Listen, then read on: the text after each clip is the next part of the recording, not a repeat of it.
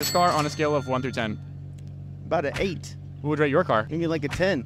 You think others would agree? I don't know. What would rate this car on a scale of 1 through 10? Oh gosh, one. Okay. What would rate your cars? Uh, well, I'd say eight or nine. There's always a nicer car out there. Okay. What would you rate these two cars on a scale of 1 through 10? So we'll start with the Lamborghini. Uh, seven. What about the Ferrari? Seven. What would rate your car? Ten. You think others would agree? Yes.